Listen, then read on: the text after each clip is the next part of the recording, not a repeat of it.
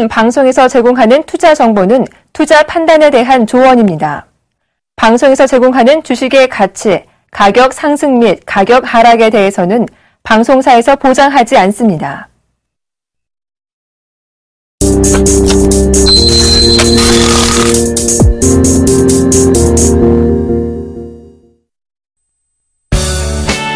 각생불사 예각기법.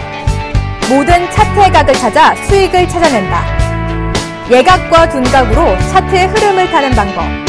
안정적인 포트로 높은 수익을 챙기고 싶다면 대박 플러스를 주목하라. 예각의 달인 예병구만 통해 각생불사 예각 기법이 지금 바로 공개됩니다.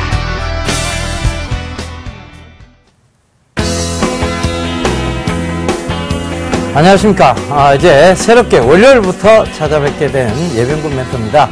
이제 제가 월요일 날, 매주 월요일 날 나오게 되죠.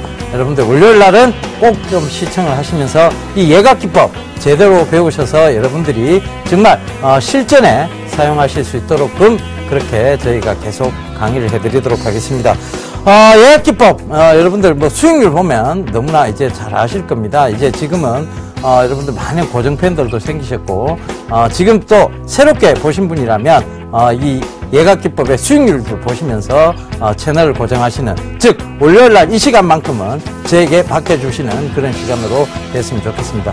자, 어, 시장이 전반적으로 어, 오늘 조금 바닥권을 좀 탈피하는 모습들을 보였습니다. 그런데 아무래도 거래 대금이 좀 부족하다 보니까 시장이 좀 코스닥 쪽에서는 좀 밀렸습니다. 그래서 코스닥이 빠지면 개인분들 고민이 많겠죠. 그런 고민들을 덜어드리기 위해서 저희가 종목 상담을 아, 저 시즌 2때 어, 좀, 어, 이래 개별 종목을 해드리다가 이제 통째로 종목 상담을 해드립니다. 여러분들이 가지고 계신 전 종목을 상담을 해드리니까요. 많이들 참여해 주시고요. 자, 참여 방법 알려드리도록 하겠습니다. 02-3153-2611번에서 1, 2번 두 대가 준비되어 있습니다. 어, 전화 주셔도 되고요. 무료 문자는 013-3366-0110번입니다. 문자로 남겨주셔도 저희가 빠르게 종목 상담 이어가고 있다는 거 어, 인지해 주시고요. 자, 서울경제TV 홈페이지에서도 접속이 가능하세요. www.sentv.co.kr로 접속하셔서 시청자 종목, 사, 아, 종목 상담 신청 게시판이 있습니다. 그쪽에 글을 남겨주시면 저희 멘토들이 빠르게 어, 아마 어, 저희가 종목 상담을 어, 진행해 드리도록 하겠습니다. 자, 시황 얘기 어, 이어서 좀 하도록 하겠습니다. 전체적으로 그 제가 조금 전에도 말씀드렸다시피 거래 대금 전체가 부족해요. 그러다 보니까 결과적으로는 많이 오른 코스닥에서 조금 빼고 다시 코스닥으로 쪽 어, 코스피 쪽으로 조금 옮기는 모습이었어요. 그래서 어, 제가 차트 보면서 좀 설명을 드리자면 어, 코스피 쪽에 어, 지금 이제 어, 코스피 쪽에 어떤 오늘 조금 반등이 조금 나왔어요. 그죠? 아, 자, 일봉 보면서 말씀드리겠습니다. 코스피가 지금 이틀째 양봉을 좀 만들면서 약간 반등이 나왔고, 반면에 코스닥은 지금 건전한 조정 구간이 나왔습니다. 자, 좀, 그, 조정폭이 좀 컸지만, 결국은 건전한, 아직도 건전한 조정 구간이다. 즉, 어, 이렇게 보면, 자, 이 올라오고 있는 22평이, 자, 비스듬하게 이래 올라오고 있었어요. 그죠? 그러다가 최근 들어와서 다시 558포인트까지의 제가 뭐라고 말씀드렸습니까? 순항 랠리가 아니고 변동성 랠리라고 분명히 말씀드렸습니다. 그러니까 그 변동성 랠리에서 자, 지금 건전한 조정 구간까지 내려와 버렸습니다. 그죠? 근데 이 부분은 지금, 어, 좋아하지 않았던 부분이니까, 어, 결과적으로 이 부분은 지금 지지가 된다라고 보셔야 될 것 같고, 아직까지 558포인트까지의 변동성 랠리는 저는, 어, 그쪽으로 보고 있습니다. 그러니까 558포인트까지의 변동성 랠리 계속 좀 집중을 해 주시고요. 어, 그러면 종목 집중 전략이 계속 유효하다는 거 아시겠죠? 그 부분 참고해 주시면 될 것 같습니다. 자, 코스피는 낙폭이 좀 과했어요. 그죠? 그러다 보니까 결과적으로는 코스피 자체가 지금 그 낙폭을 어, 느 정도 자, 지지를 받고 낙폭을 회복하는 모습이에요. 그러니까 즉 코스피가 지금 상승 쪽으로 가닥을 자, 잡았는 게 아니고 결과적으로는 어, 기술적인 반, 기술적인 반등이 나왔는 자리입니다. 그런데 제가 어, 분명히 말씀드렸죠. 지금 어, 우리가 코스피 대세 상승의 전제 요건이 뭐냐면 코스닥에 강한 동반 상승이 있어야 되고 첫 번째가 두 번째가 중국 증시의 회복이어야 됩니다. 오늘 어, 금일 이제 중국에서 좋은 얘기가 나왔습니다. 경기 부양책에 대한 구체적인 얘기들이 지금 나오기 시작하죠. 그러면 어, 결과적으로 이런 부분에서 여러분들께서 참고해 보신다면 자 어, 중국 경기 살아 돌아 올라오고 그 다음에 코스닥 강하게 상승장이 만들어졌다. 그러면 코스피에 대한 대세 상승도 생각을 해보셔야 됩니다. 그 부분 참고하셔야 될 것 같고. 자, 중국이 여러분들 뭐 지금 말이 많습니다. 경기 둔화가 되는 거 아니냐, 어, 디폴트 되는 거 아니냐. 어, 근데 분명하게 말씀드릴 것은 중국은 어, 우리가 징후 현상이라고 하는 트리거 현상이 별로 없습니다. 어, 트리거 현상이 뭐냐면 어, 결과적으로 징후 요인인데 어, 보통 보면 어, 부동산 가격이 굉장히 크게 하락을 한다든가, 그죠? 첫 번째가 트리거의, 트리거의 첫 번째 징후 요인이 뭐냐면, 자, 어, 부동산 가격 하락이에요. 그죠? 부동산 가격 하락. 근데, 어, 부동산 가격 하락은 지금 중국에서는 이루어지지 않고 있습니다. 그러니까 뭐냐면, 지금 중국의 10대 도시들은 부동산 가격이 다시 다 올라가고 있어요. 그죠? 부동산 가격 하락은 이루어지지 않는다. 그 다음, 두 번째, 트리거, 트리거 현상 중에 두 번째가 뭐냐면 기업체의 부도입니다. 그죠? 기업체의 부도인데 이 부도가 지금 어, 상하이 차오리 솔, 어, 솔라라는 어, 그런 회사가 지금 태양광 업체죠. 거기가 한 군데 부도가 났고 그 다음에 어, 지금 철강주 쪽에서 부도가 하나 났습니다. 그래서 연이은 부도로 인해서 어, 디폴트로 인해서 어, 떤 중국의 어떤 그런 부분들이 어, 결과적으로 지금 어, 부도, 즉 트리거 현상이 나타나는 게 아니냐는 얘기들이 많이 나와요. 그런데 여러분들께서 하나 살펴보셔야 될 게 뭐냐면 지금 그 중국의 중앙정부에서 발행하는 중앙정부, 그 중앙회사체가 발행하는 이 회사체, 중앙회사체죠, 그죠? 이 회사체가 줄고 있어요, 전체적으로 보면. 올 지금 3월 달까지 해서 굉장히 급격하게 줄고 있습니다. 그럼 하반기에는 안정화가 된다는 얘기죠. 그죠? 회사채 만기가 안 돌아오는 게 별로 없다는 얘기예요. 그러면 이런 디폴트 현상이 나타나겠습니까? 디폴트가? 안 나타나겠죠. 그죠? 그러면 거기서 참고를 해보신다면 이제 중국이 경기 부양책과 함께 더불어 올라오게 된다면 이 트리거 현상들은 크게 걱정할 게 없다. 트리거가 나타난 게 없다는 얘기예요. 그러니까 어, 중국 경기 다시 살아 돌아온다. 즉 어, 연착륙이 아니라 경착륙 쪽으로 보셔야 될 것 같습니다. 그래서 그런 점 참고해 보시면 될 것 같고, 자, 어, 그래서 코스닥 지금 오늘 건전한 조정 구간 들어왔었는데, 어, 결국은 이 건전한 조정은 빠르게 회귀를 하게 되어 있습니다. 그 점 참고하셔서 558포인트까지의 제가 계속 강조드렸습니다. 지금 또 강조드리죠. 그죠? 558포인트까지의 뭐? 변동성 랠리 구간 분명히 있다. 그 점 참고하시면 될 것 같습니다. 자, 어, 오늘 장 정리는 이 정도로 해두고요. 자, 어, 지난 성적표 좀 보고 가도록 하겠습니다.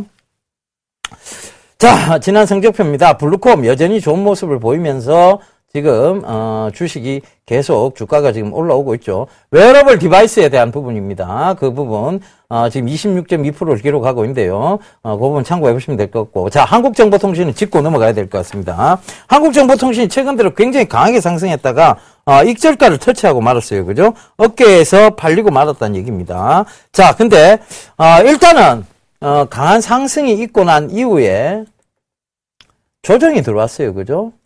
둔각이 만들어졌고 일단은 추세를 꺾었습니다. 그러면 자 우리가 잡아놓은 익절가에서 파는 게 맞습니다. 일단은 여기서 지지를 받고 다시 올린다 하더라도 다시 올라올 때 들어가면 돼요. 그죠? 그러니까 그 점은 꼭 좀 참고하시고 자 그래서 한국정보통신이 25.7%라는 수익률을 기록하면서 매도가 됐다는 점 참고를 하십시오. 손절가를 제가 6,120원을 올려드렸는데 그 6,120원 오늘 살짝 터치했어요. 그리고 어, 지금 어, 익절이 된 상황입니다. 그 다음에 어, 한진중공홀딩스는 지난주 수요일 날 제가 출연해서 매도 의견을 어, 목요일 날 시초가 매도 의견을 드렸고 이 부분은 어, 여러분들 잘 아실 테고요.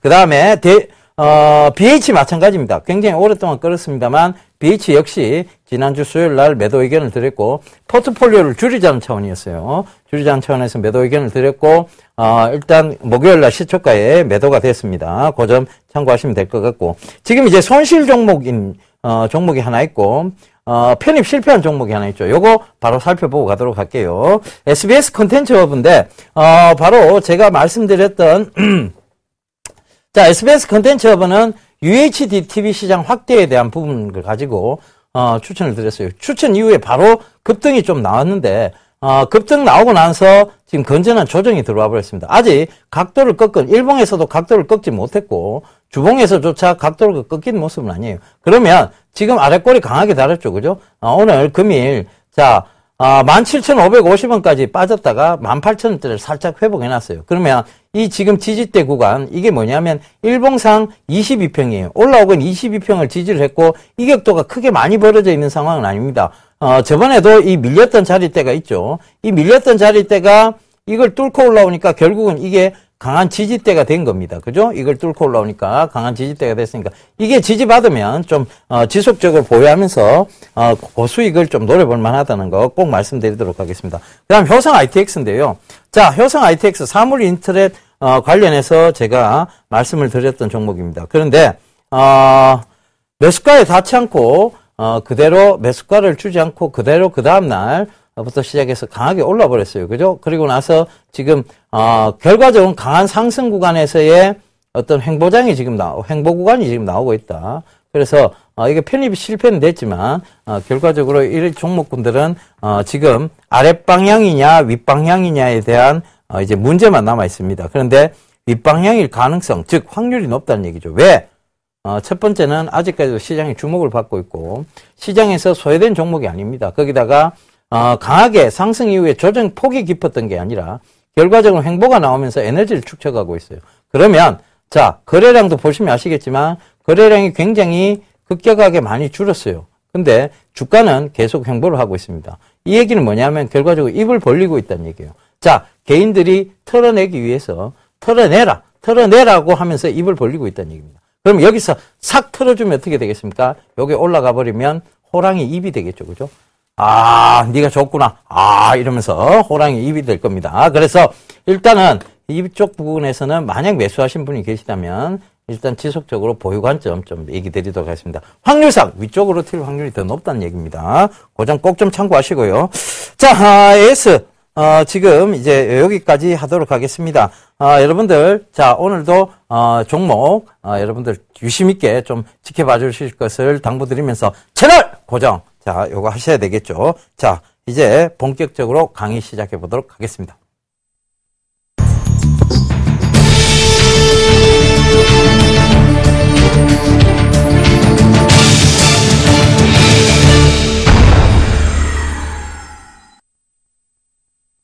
제가 그요 잠시 나가는 사이에 요 칠판을 지운다고 자, 좀 그러고 있었습니다. 자, 오늘 강의 어, 자, 이제 어, 응용편이죠. 응용편에 이제 오늘 어, 태블릿 강의 어, 응용편에서 지금 이제 태블릿 강의 오늘 시작하도록 하겠습니다. 자, 아, 태블릿 PC가 어떻게 성장을 했느냐, 그 부분에 대한 부분을 좀 살펴봐야 될 것 같아요. 어, 태블릿 PC가 지금 어, 굉장히 성장 속도를 어, 가속화 시켜 나가고 있어요. 그 이유에 대해서 한번 살펴보자면, 자, 프리미엄 스마트폰의 성장률이 좀 둔화되고 있습니다. 그러니까 고가형 스마트폰들의 성장률이 좀 둔화가 되고 있으면서 자 결과적으로는 어, 지금 어, 태블릿 PC 시장 즉 휴대성이 용이하죠, 그죠? 어, 아, 휴대성이 용이하고 어, 그래 아시아 중심의 저가 스마트폰이 지금 성장하고 있다. 어, 그 부분 참고하셔야 될 거고 어, 태블릿 PC의 성장 배경을 우리가 살펴보자면 어, 첫 번째로 여러분들이 이제 작은 화면이 아닌 큰 화면을 선호하는 그런 경향이 짙어요. 그죠? 그 큰 화면, 대화면을 추구한다는 얘기입니다. 그 다음에 휴대용 PC 시장이 확대되고 있다는 점, 그 점도 태블릿 PC의 성장 배경이 되겠죠. 그 다음에, 어, 교육용 콘텐츠가 확산이 되고 있어요. 이제 전자 교과서가 나오고 전자 칠판이 등장하기 시작합니다. 그러면 이 태블릿 PC 시장은 급속도로 교육 시장에서는 굉장히 큰 시장을 이루어 나갈 거예요. 그 부분을 참고해 본다면, 자, 태블릿 PC, 자, 앞으로 PC를 우리가 어, 굉장히 무거운 PC에서 가벼운 PC, 태블릿 PC로 가면서 휴대성이 용이해졌고, 그 다음에 대화면, 즉, 스마트폰으로 보기에는 좀 작은 것들이 있어요. 동영상이라든가, 그 다음에, 어, 동영상 강좌라든가 이런 부분들은 스마트폰으로 보기엔 좀 작아요. 칠판 글씨도 잘 안 보이는데 스마트폰 그 작은 스마트폰을 보기엔 좀 작죠. 그래서 이런 태블릿 PC 시장이 점점 커지고 있다. 전자 도서관, 전자책, 그다음에 전자 디지털 어, 교과서 이런 부분들에 있어서 태블릿 PC 시장의 어떤 성장성을 충분히 가늠해 볼 수 있습니다. 그러면 성장성 갖추고 있고 지금 모멘텀 충분히 부과되어 있고 그 다음에 요걸 하루만 일찍 시작했어도 여러분 LG 디스플레이에 관심을 조금 가졌을 것 같은데 그죠? 그 다음에 어, 전자교과서 이런 부분들 충분히 향후에 성장성 갖추고 있고 모멘텀 있고 자 어, 충분히 가격 메리트도 지금 발생을 했습니다. 그렇다면 자 이 태블릿 PC 시장 우리가 유심히 좀 응용편에서 살펴봐야 되겠죠. 자, 아, 일단 제가 준비한 PPT를 보면서 좀 설명을 드리도록 하겠습니다. 음, 태블릿 PC 포함 전 세계 PC 판매 추이예요. 어, 자, 이렇게 보시면 지금 넷북이라든가 이런 것들은 자, 성장성이 거의 정체되어 있는 상황입니다. 그죠? 오히려 성장성들이 이렇게 좀 떨어지고 있죠. 그죠? 지금 성장 속도가 가파르게 이렇게 올라오는 것들을 즉 이렇게 가파르게 올라오고 있는 구간에 있는 것, 즉 어, 이 오렌지색은 뭐냐 하면 결과적으로는 어, 이 태블릿 즉 태블릿 PC의 그겁니다. 성장 속도입니다. 그죠? 2014년도 음, 그러니까 2014년도 부분, 이 부분이 되겠죠. 이 부분이 굉장히 지금 강하게 성장하고 있다. 요거 좀 참고해 보셔야 될 것 같고요.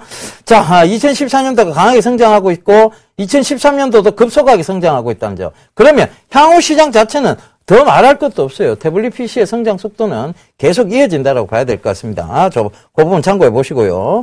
그 다음에, 어, 디지털 교과서의 서비스 구조예요. 우리가 태블릿 PC 시장에서 아마 가장 큰 앞으로, 어, 부분을 차지하는 게 뭔가 하면 디지털 교과서입니다. 어, 이 태블릿 PC를 통해서 학생들이 공부를 하죠. 디지털 교과서 플랫폼을 가지고 있고, 이 디지털 교과서를 통해서 선생님하고 쌍방향 커뮤니케이션이 가능하다는 거예요. 그러니까 디지, 털 교과서의 컨텐츠, 이 컨텐츠 베이스들이 그리고 어, 지원 시스템이죠. 운영 및 관리 그리고 이, 어, 이 태블릿 PC를 통해서 얼마만큼 학생이 많은 접속을 해서 어떤 데이터를 어, 그러니까 공부에 대한 데이터 분석까지도 가능할 거예요. 아니면 수학 공부를 한 시간 했고 영어 공부를 한 시간 했고 자 어, 이런 부분들도 나올 거고, 이 학생은 수학을 너무 과도하게, 말, 수학 공부 5시간 하고 영어 공부 30분 했다면, 거기에 대한 데이터베이스까지 충분히 이 태블릿 PC로 공부하는 학생들을 거는 뽑아낼 수 있다는 얘기입니다. 그러면 어느 부분이 부족하고 어느 부분이 지금 어 그 지금 과도하게 공부가 되어 있는지 그런 부분들이 파악이 된다는 얘기예요. 그러면 학생의 어떤 지금 수업 능력, 그럼 진도 속도 이런 것들도 이 태블릿 PC로 파악이 되겠죠. 그래서 선생님들이 관리하기 용이하고 그 다음에 학생 역시 자기 자신의 어떤 학업 시스템, 학업적인 부분들, 어, 어, 효율적인 부분들을 체크를 해나갈 수 있다는 얘기입니다. 그래서 이 디지털 교과서의 중요도는 계속 강조가 되고 있으니까 그 점 참고하신다면 어, 디지털 교과서는 결국 태블릿 PC 쪽으로 갈 수밖에 없다는 겁니다. 그 점 꼭 좀 참고하세요. 그래서 어, 지원책들이 많이 나올 것으로 예상이 되고 있습니다. 그죠? 자, 그 다음. 자, 태블릿 PC가 여는 새로운 영상 환경이에요. 자, 우리가 태블릿 PC를 이전의 상태와 이후 상태를 한번 보자고요. 시청 장소가 어, 거실이나 극장이었다가 지금은 장소의 제약이 사라집니다. 태블릿 PC가 등장한 이후로는 그 다음에 시청 컨텐츠도 어, 장편물, 단편물에다가 태블릿 PC 등장 이후로는 단편물 중심으로 바뀌어 나가는 거죠. 그죠? 그래서 어, 지금 그런 단편물들 제작이 컨텐츠 제작들이 한참 많이 진행되고 있다는 거. 그 다음에 제작 주체가 전문가 중심에서 고예산이었다가 지금은 태블릿 PC 시장이 확대가 되면 비전문가 중심 그러니까 비전문가도 누구나 컨텐츠를 제작을 할 수가 있어요. 그죠? 그 비, 그 비중이 확대될 거예요. 그러면서 또 저예산, 이런 부분들이, 자, 어, 떤 아이디어가 좋은 저예산, 어, 어, 제작물들이 쏟아져 나올 것이다. 요거 참고를 하시면 될 것 같고. 배급 방식도요, 다운로드, 우편, 직접 방문해서 이제 스트리밍 방식입니다. 결과적으로는 그만큼 편리한 세상이 된다는 얘기입니다. 영상 환경 자체도 그만큼 편리해진다는 얘기예요. 그러면 태블릿 PC 성장, 어, 성장성 분명히 갖추고 있다 볼 수 있겠죠. 그 다음 바로 넘어가 보도록 하겠습니다. 뭐냐? 태블릿 PC 관련 기업 사업 내용이에요. 자, 어, 이거는 지금 굉장히 글씨가 작아서 여러분들 보이진 않을 거예요. 그래서 자, 어, 요거 어, 제가 미리 좀 뽑아 놨습니다. 미리 뽑아놨으니까 어, 요거 참고하면서 어, 좀 보고 가도록 하겠습니다. 자, 아, 여러분들 어, 이 태블릿 PC 시장을요, 여러분들이 지금 우리가 계속 지속적으로 좀 관심을 가져야 된다. 요거는 앞부분에서 분명히 살펴봤습니다. 그 중에서도 뭘 살펴봐야 되는가? LMS 중대형 프리즘 시트 매출 증가가 기대된다. 즉 태블릿 PC 시장이 확대되면 결국은 태블릿 PC는 작은 게 아니잖아요. 스마트폰처럼. 작은 게 아니라면 중대형 어, 프리즘 시트가 필요하다는 얘기예요. 그래서 LMS 하나 뽑아놨고 그 다음에 어, 예림당 뽑아놨어요. 예림당. 어, 바로 전자교과서 어, 부분이죠. 그죠? 삼성전자와 콘텐츠 공급 계약이 돼 있고, 어, 공급 계약이 체결되어 있습니다. 모바일 교육 서비스, 어, 협력을 강화하겠다. 자, 요 부분이죠. 그 다음 요거 살펴봐야 될 거고, 인탑스 살펴봐야 되겠죠. 인탑스, 어, 삼성전자 내 점유율 1위 휴대폰 케이스 업체입니다. 근데 이 테이블, 어, 태블릿 PC 중에, 어, 태블릿 PC도 역시 고가의 제품이다 보니까, 어, 케이스 꼭 좀 필요하겠죠. 그래서, 어, 그 부분 살펴봐야 될 것 같고, 그 다음에 LG 디스플레이 오늘 7% 가까이 강하게 올랐습니다. 자, LG 디스플레이가 오늘 강하게 오른 이유, 태블릿 PC와 무관하다 볼 수 없습니다. LCD 패널 그 출하가 증가될 것이다. 즉 태블릿 PC가 거의 LCD예요. 그죠? 그 LCD 어, 패널이 출하가 증가될 것이다 하는 그 부분 때문에 강하게 올랐습니다. 자, 그러면 이 중에서 우리가 자, 예각 기법을 녹여 녹여 녹여 녹여서 자, 종목을 하나 선정을 해야 되겠죠. 그러니까 차트를 보면서 한번 예각을 녹여 보겠습니다. 그죠? 뭐 녹인다고 아이스크림처럼 쭉 녹고 그런 건 아니에요. 자, 그러니까 자, 일단 녹여 봅시다. 녹여. 자, 아, 일단 어, LMS예요. 음, LMS가 중대형 프리즘 시트예요. 그죠? 중대형 프리즘 시트. 근데 이렇게 확대를 한번 해보자고요. 자, 확대를 해보니까 꾸준한 상승세는 맞아요. 그죠? 꾸준한 상승세. 여기서부터 자, 지지대 명확히 하고 올라오는 거예요. 그죠? 그리고 자, 여기서 선을 그어보자면 이 저항대도 명확히 하면서 올라오고 있습니다. 그죠? 자, 평행선이에요. 장기 우상향 패턴을 가지고 가고 있어요. 즉, 결과적으로 이 얘기는 뭐냐면, buy and balancing이 가능하다. 매도, 매수, 분할 매수, 분할 매수, 분할 매도, 분할 매수, 분할 매도, 분할 매수, 자, 분할 매도, 분할 매수가 가능하다. 그럼 지금은 자리대가 무슨 자리대입니까? 매수 자리대죠. 아유, 자리대 좋습니다. 그 다음, 요거 확대해 보자면, 자, 요거 박스권으로 봤을 때도 지금은 박스권 하단이에요. 그죠?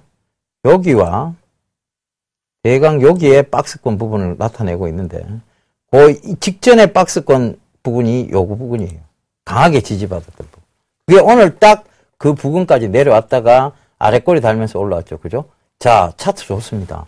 그리고 LMS의 성장성 충분히 기대해 볼 수 있죠. 왜? 중대형 프리즘 시트니까 그 점 참고해 보시면 자, 요거 어떻게 해야 되겠다? 킵. 자, 킵 해놓습니다. 킵. 자, 그 다음. 어, 그 다음 이제 예림당 살펴봐야 되겠죠. 예림당. 예림당은 전자교과서 시장 때문에 최근, 어, 굉장히 많이 올랐어요. 자, 최근에 좀 급격하게 올라왔는데, 자, 오늘 5.75% 하락하면서 거의 상승폭을 다 내줬습니다. 근데 이 부분이 결과적으로는 전에 저항대로 자리 잡았던 부분이에요. 그죠? 이 저항대로 자리 잡았던 부분이 자 여기서 밀렸잖아요. 앞부분에서 보면 저항대로 자리 잡았던 부분이 강하게 상승이 나오니까 그죠? 강하게 상승이 나오니까 이 부분을 지금 지지대로 자리 잡고 있어요. 그죠? 결과적으로는 예림당 여러분들 너무나 잘 알고 계십니다. Y 시리즈 Y 시리즈로 인해서 유명한 데다가 이 Y 시리즈들이 지금 어 태블릿 전자 어 전자 그 전자 도서관 쪽이죠. 그죠? 전자 도서관하고 그다음에 어, 여러분들이 들고 다니는 어, 전자책 쪽으로 많이 지금 들어갔습니다. 그러면서 매출도 어느 정도 좀 증가가 됐지만 전자 교과서에 대한 기대감도 부여가 되기 시작했어요. 그래서 이 예림당 자 요것도 자 정확한 지지선 부근에 지금 와 있고 요것도 지금 어, 우상향 패턴의 어떤 부분에서 오늘 시장과 함께 밀렸다. 그렇다면 요거 좀 주목해 볼 필요가 있겠죠. 왜? 장기적인 저항대, 즉, 이 저항대를 뚫고 올라왔어요. 그죠? 그렇다면, 거래량도 어느 정도 지금 수반이 돼 가면서 올라오고 있는 장면이고, 그렇다면, 여, 기까지는 1차, 1차 목표값 노려봐야 되지 않냐. 8,300원까지. 그죠? 그래서 이것도 킵! 안 버립니다. 자, 그 다음, 인탑스입니다.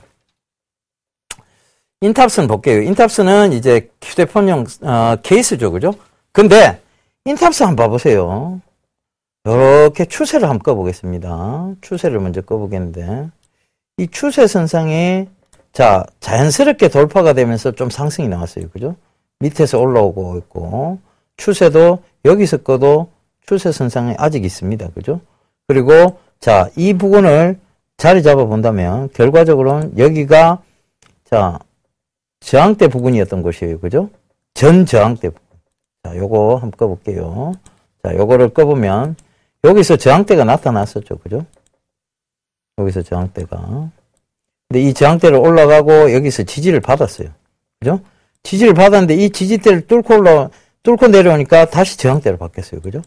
근데 이걸 다시 뚫고 올랐던 얘기입니다. 그러면 여기서 강하게 rebounding이 나오겠느냐에 대한 부분에서 아직까지는 확신이 없어요.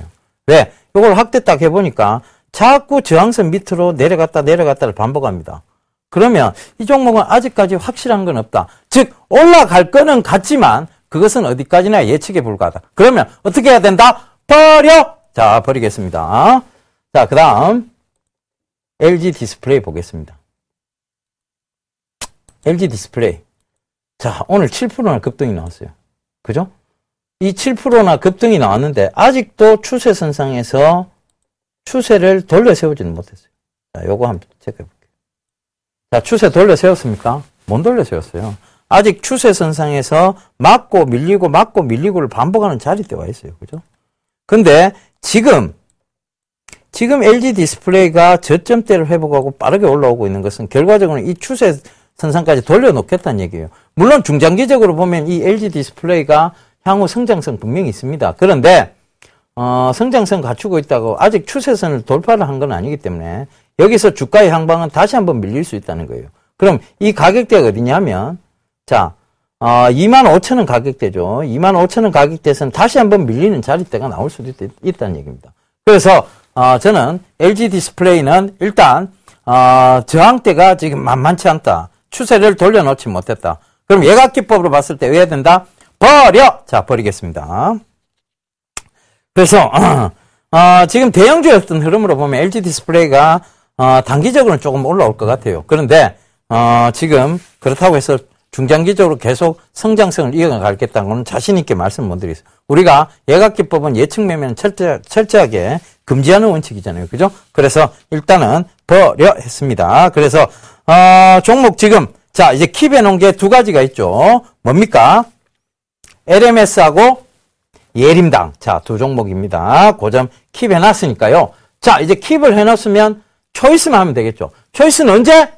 자, 이 프로그램 말미에 여러분들께 말씀을 드립니다. 그러니까 고점 참고하시고 어떻게 해야 된다? 시청. 자, 채널 고정하셔야 된다. 요점 참고하시고. 자, 어, 이제 포트 통상담으로 한번 넘어가 보겠습니다.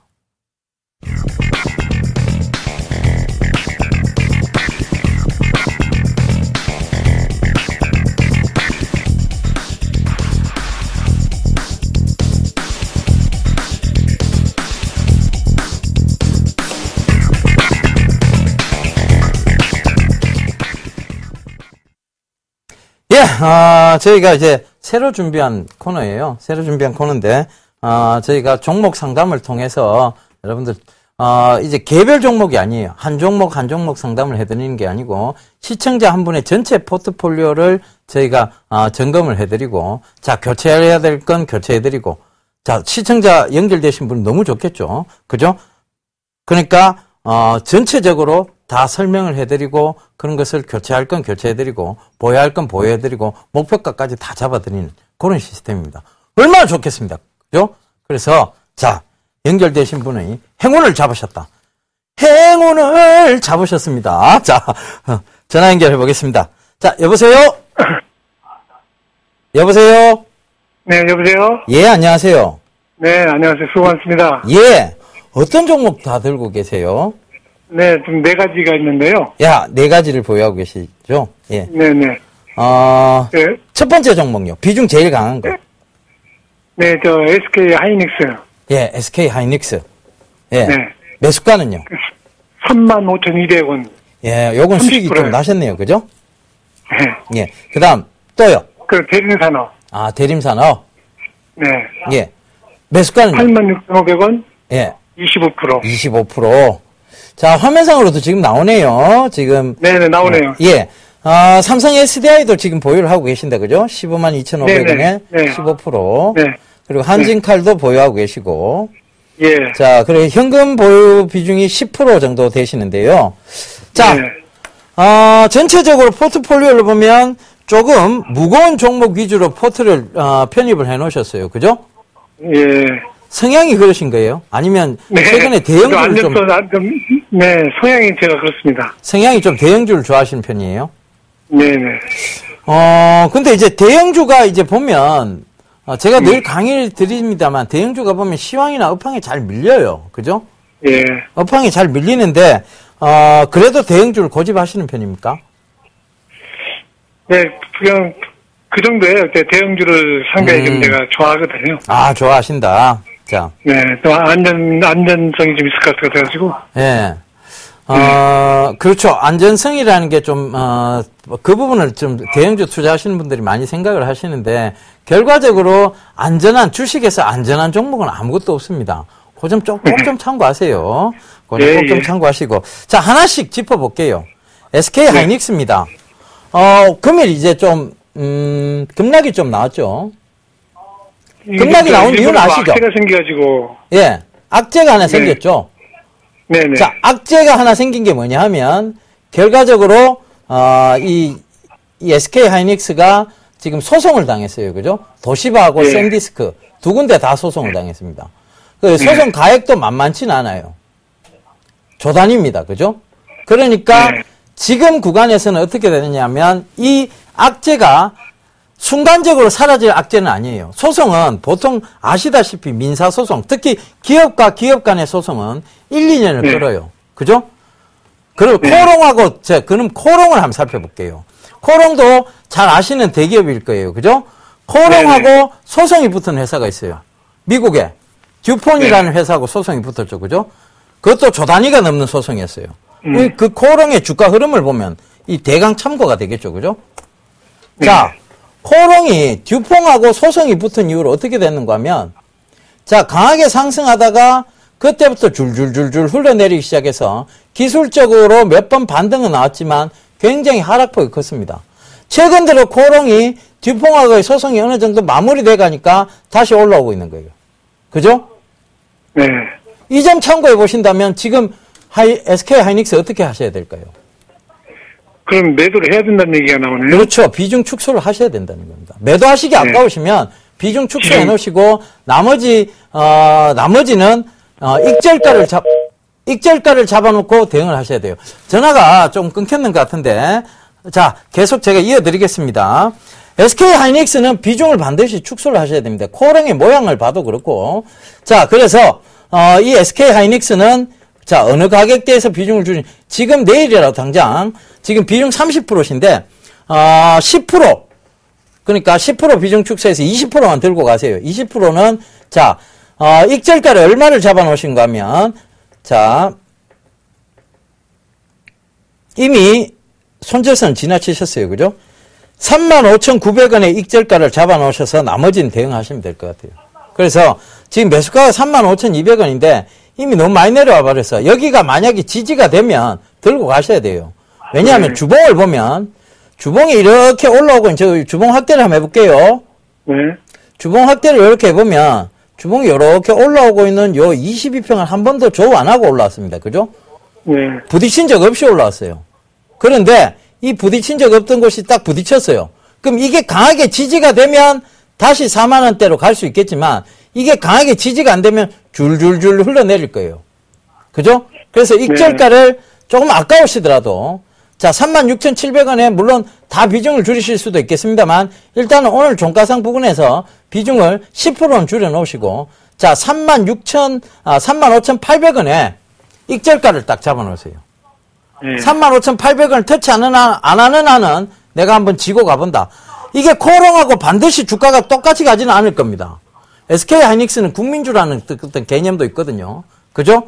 그래서 아, 일단은 한번 추이를 더 한번 지켜보자고요.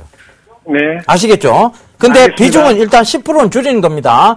20%만 들고 하시는 거예요. 네. 예, 그리고 자, 그거는 마무리가 됐고, 그럼 대림산업 볼게요.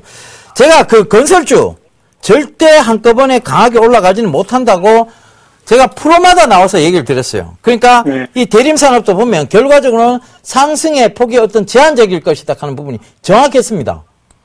그래서 건설주라는 게요, 결국은 이 대형 건설사들이 살아 돌아오려고 하면 중대형 아파트들이 많이 나가야 돼요. 근데 지금 중대형 아파트 인기 없죠, 그죠? 1인 가구가 계속 등장하면서.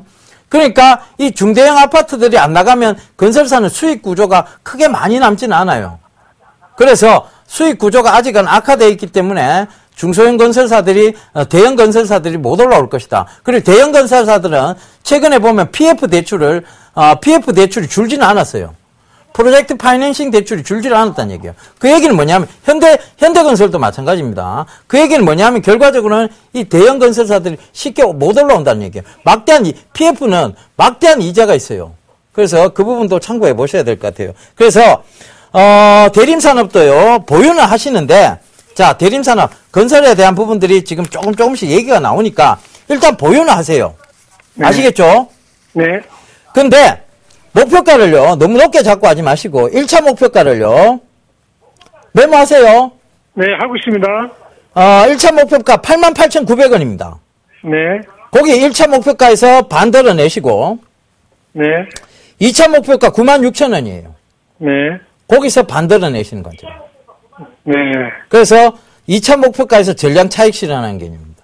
아시겠죠? 네, 네. 자, 요거 마무리 돼- 해드리겠습니다. 네, 고맙습니다. 그 다음, 삼성 SDI입니다. 세 번째죠? 네. 삼성 SDI.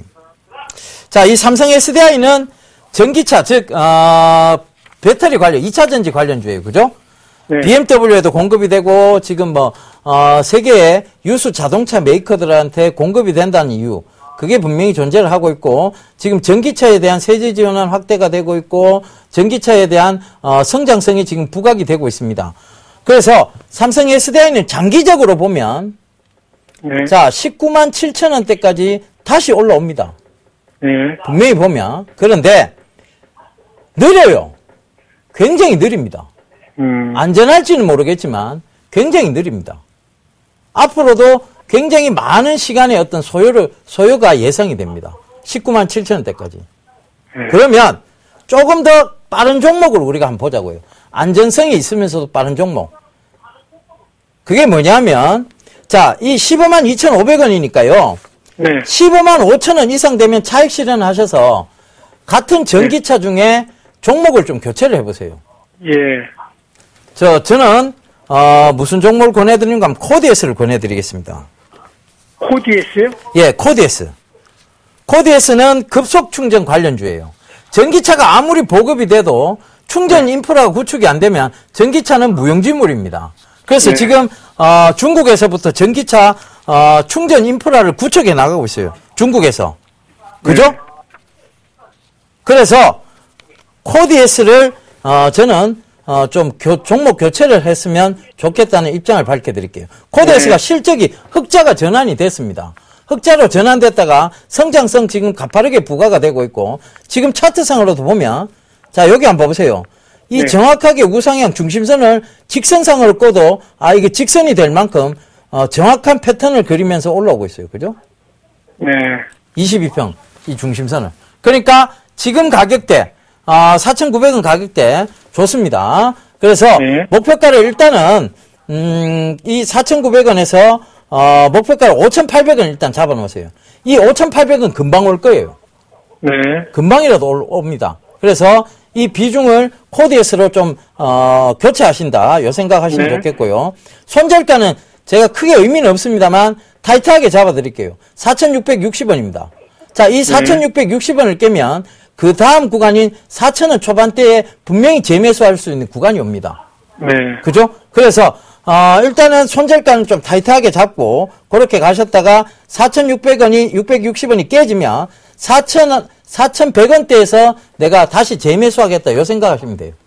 네. 아시겠죠? 이 코데스는 네. 성장성이 부각, 부각이 분명히 돼 있습니다.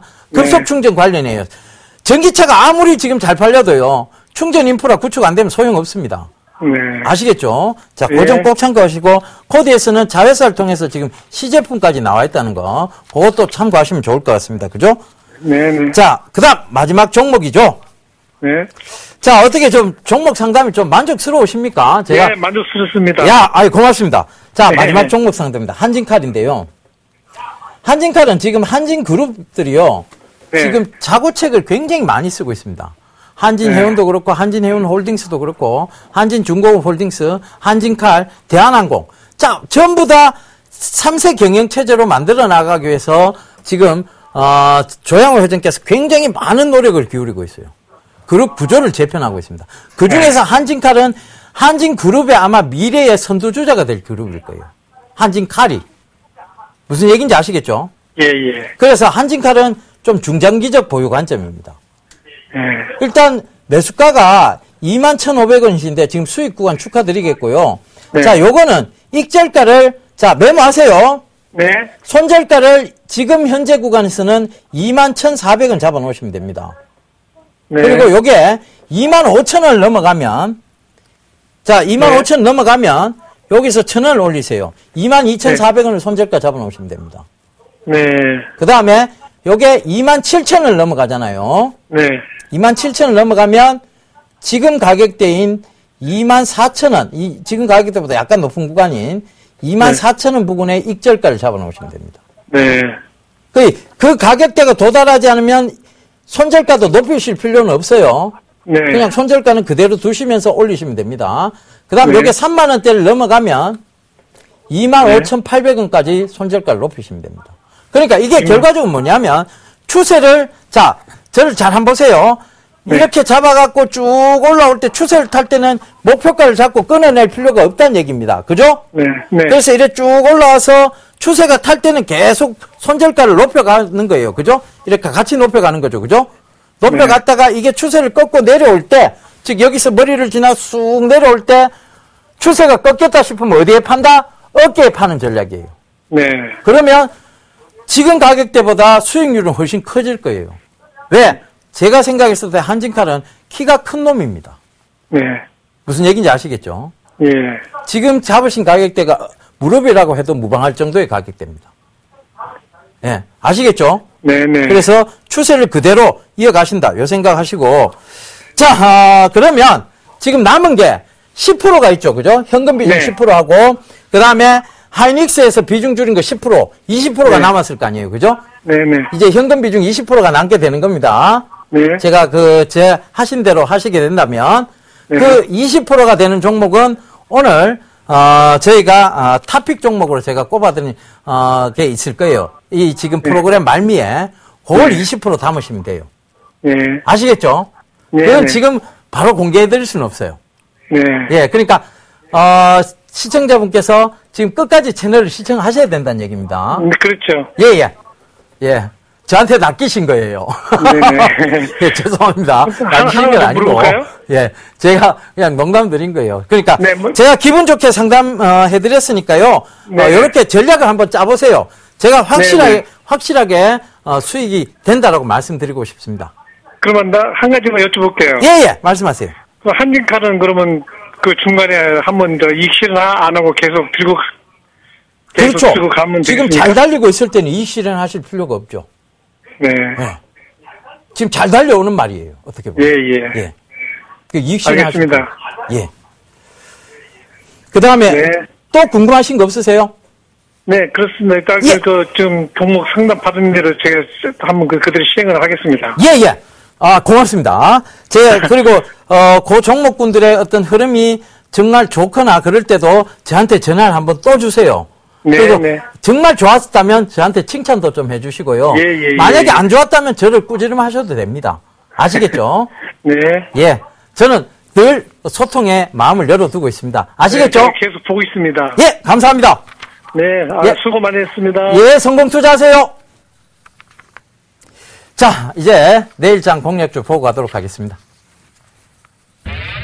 검색창에 샘플러스를 입력하시고 전문가 방송에 접속하시면 서울경제TV 특급 전문가들이 여러분의 포트폴리오와 수익률을 책임집니다. 주식 투자 샘플러스와 함께 하십시오. 자, 이제 진짜 좀 고민스러운 시간이 왔습니다. 그죠? 아무리 봐도 LMS도 좋고 예림당도 좋아 보여요. 그죠? 전자교과서, 하, LMS. 자, 요거를 한번 봅시다. LMS. 자, 이 기술적인 부분이에요. 중대형 시트. 그죠? 자, WPC를 만들려면 이 중대형 시트가 꼭 필요합니다. 그죠? 자, 그 다음 예림당. 어떤 이 WPC의 성장이 분명히 교육적인 부분이 많이 차지할 거예요. 그죠? 그러면 이 예림당, 예림당도 더 잘 갈 것 같은데. 아, 고민됩니다. 어떻게 할까요? 제비뽑기 할까요? 아니면 이거, 이거, 이거 한번 할까요? 그죠? 그렇게 주식을 정할 수는 없잖아요. 그러면, 아, 우리가 일단은 이걸 생각해 봐야 될 것 같고요. 같아요. 먼 미래 얘기냐, 가까운 미래 얘기냐를, 그러니까 가까운 미래의 효용 가치성이 있느냐, 먼 미래의 효용 가치성이 있느냐를 찾아봐야 될 것 같아요. 자, 예림당은 일단은 태블릿 PC가 굉장히 활성화가 돼야 태블릿 PC 활성화가 활성화와 보급이 돼야만 이 예림당의 컨텐츠가 이쪽으로 들어갈 거예요. 그죠? 왜? 전자, 전자교과서. 이 PC가 활성화. 자, 학생들이 들고 다니고 있지도 않아요. 타블릿 PC를 들고 다니고 있지도 않고, 보급도 제대로 안 된 상황에서 컨텐츠만 만들어져 있으면 이건 실적하고 무관하게 됩니다. 그러면 요거, 요게 조금 더 먼 미래의 얘기입니다. 먼 미래. 그렇다고 아주 먼 미래는 아니에요. 먼 미래 얘기가 되고, 자, 요거는 효용 가치성적인 측면에서 보면 약간은 동떨어져 있는, 조금은 떨어져 있는 미래 얘기란 얘기입니다. 자, 예각기법에서 가까운 미래의 효용 가치성을 강조를 했죠. 그러면 이 먼 미래의 거는 일단은 LMS보다는 멀어요. 왜? 태블릿 PC가 먼저 활성화되고 보급화가 돼야만 이 예림당이라는 교육 컨텐츠가 그쪽 안으로 들어가죠. 그죠? 그렇다면 요게 조금 더 가깝다는 얘기예요. 중대형 시트. 그죠? 이 제품들이 먼저 만들어져야 되니까. 그러면 가까운 미래에 자, 이 중요한 얘기 나옵니다. 가까운 미래에 효용 가치성을 따지고 본다면 우리는 뭘 선택해야 됩니까? LMS입니다. 그죠? LMS입니다. 그래서 LMS를 초이스 하도록 하겠습니다. 초이스. 자, 어, LMS. 자, 차트 보면서 가격, 매수 가격대 잡아 드릴게요. 자, LMS. 오늘 종가가 19,050원이에요. 근데 딱 봐도 여러분들 자, 여기서 장기적으로 우상향하는 즉 직선을 꺼도 장기적으로 우상향의 패턴이 딱 그려져요. 그러면 아까 전에 분명히 매수 가격대라고 얘기 드렸죠. 그죠? 그러니까 19,000원에 자, 50원 싼 19,000원에 매수를 해 보겠습니다. 그리고 목표가는 일단은 23,100원을 잡고 가도록 할게요. 자, 이렇게 보면 23,100원대가 여기에요. 그죠? 23,100원. 여기입니다. 여기인데 이 가격대가 뭘 의미냐 하는 거 하면 전에 봉우리를 형성하던 그 구간대예요. 그죠? 그 구간대까지는 무난히 갈 듯 보입니다. 그래서 23,100원대 일단 목표가를 잡아두고 자 예약기법에서 목표가 큰 의미 없죠. 그죠? 제가 분명히 말씀드렸습니다. 오늘도 강의 중간에 말씀드렸어요.